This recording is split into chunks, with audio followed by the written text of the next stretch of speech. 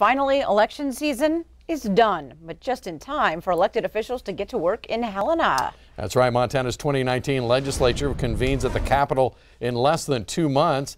Today in Helena, the newly elected lawmakers chose their leaders. MTN Chief Political Reporter Mike Dennison tells us what happened and what it means for the session's agenda.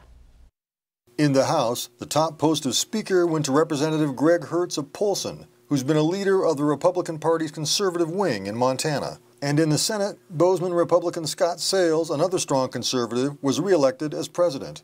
Both men said a top priority for Republicans at the next legislature will be balancing the budget without a tax increase.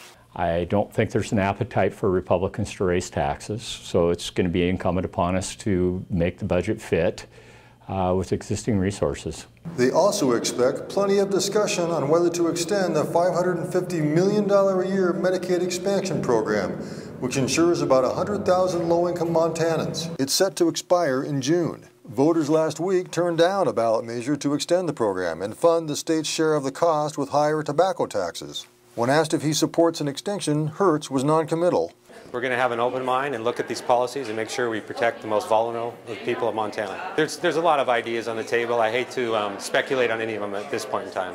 Sales said he's curious to see what adjustments to the current program its supporters may propose to get it extended. There's going to be a fair amount of horse trading that goes on on that issue, but I would have to think that it's going to, it's going to uh, be one of the major, if not the major issue of the session.